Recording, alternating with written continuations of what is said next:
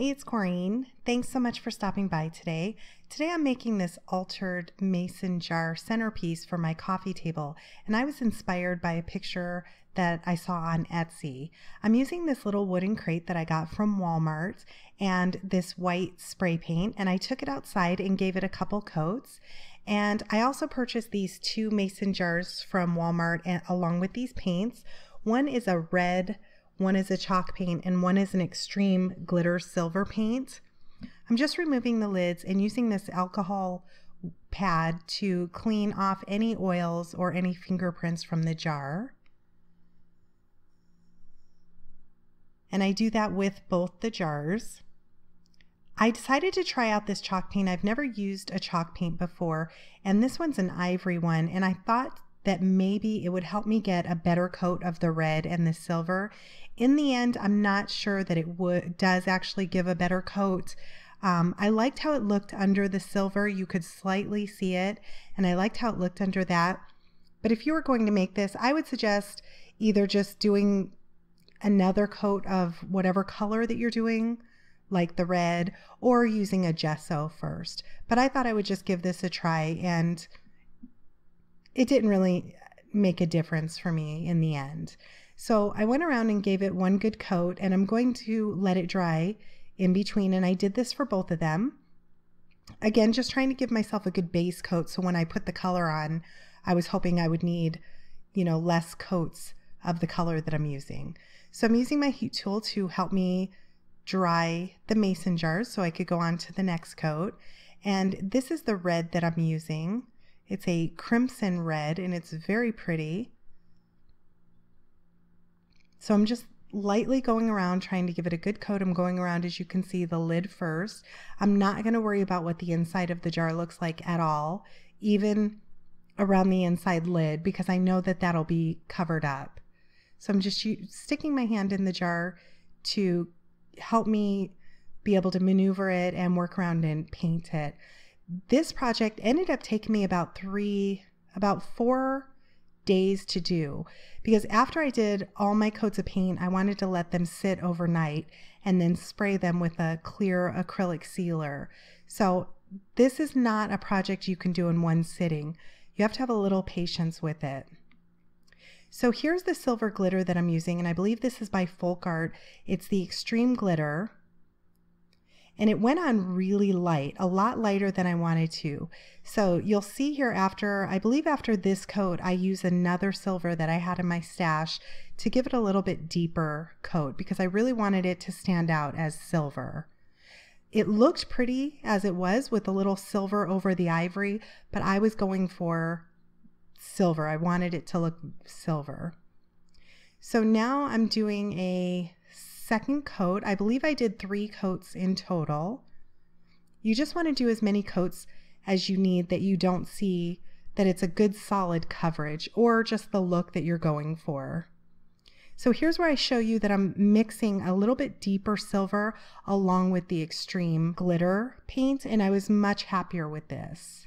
Now, this is a little piece that I got from my local dollar store, and I did not like the decoration on the other side. So I purposely bought them knowing that I could add my own vinyl to the backside of them. And here I'm showing you the front side. It's pretty. It's there's nothing ugly about it, but it's just not what I was looking for. So I just added some vinyl. I cut this out from a silhouette cut that I had, adhered it with my transfer tape, and pressed that down. And I was much happier. This is exactly what I was hoping for. This little flourish piece, I wanted to add that to it.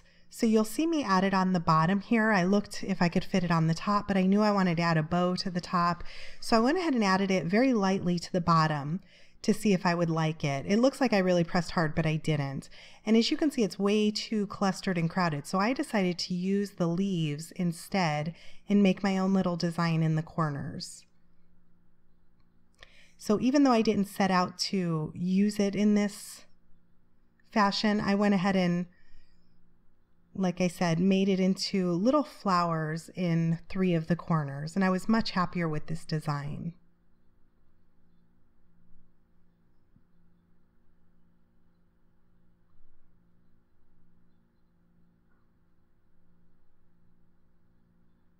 I had my chalk markers out just in case I decided I wanted to use chalk markers, but I decided I wanted to go with the vinyl instead. So I'm really pressing those down. And now I pulled out my Nuvo crystal drops and I'm adding some berries around the flowers. Some of them ran into each other, so I just used a Q-tip to wipe it off and start over, and it worked out really well. So here's some bows that I made from the Silhouette Cameo. I'll try and put a link in the description box for these. I'm using some Simple Stories Claus and Company paper collection for it. And I'm just adhering those with some Fabri-Tac. I'm letting those dry. And I did three different sizes because I wasn't sure which size I needed for them.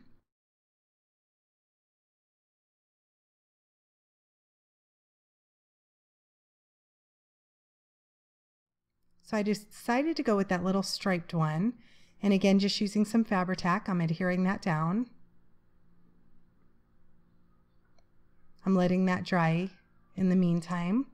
And now I'm using some E6000 to the front of my crate to adhere that down.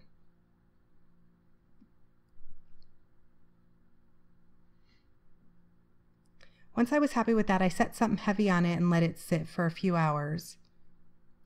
And now I took out took the mason jars and sprayed them with some Mod Podge clear spray. Now I'm using some twine that I had in my stash along with the Fabri-Tac and wrapping that around several times. And then I'm going to add bows to the front.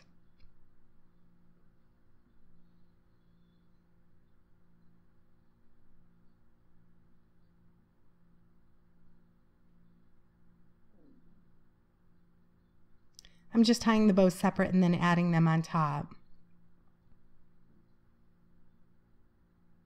Like I said, you really do have to have a lot of patience with this project because you really want to let the jars sit overnight once you've painted them. And then after you spray them with the clear acrylic spray, you really want to let them sit overnight again as well. So now I'm just kind of pulling out all my sprays and berries. These are a combination of sprays that I've gotten from the dollar store or from Walmart. And I'm putting a little bit of tissue paper in the bottom just so they don't have to be as long and they stand up well. So that's all there was to it. If you have any questions, please leave me a comment. I hope you've enjoyed the process and stay tuned for some photos. Please give me a thumbs up and check the description box for all my social media links. Come find me on Facebook and Instagram and Pinterest. Thanks so much for watching.